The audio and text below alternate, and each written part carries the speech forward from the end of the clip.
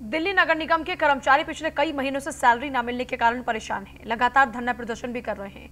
दिल्ली नगर निगम के अस्पतालों में कर्मचारियों द्वारा प्रशासन को चेताने के लिए सांकेतिक हड़ताल भी की जा रही लेकिन उसके बावजूद भी इन लोगों की समस्या का कोई समाधान नहीं।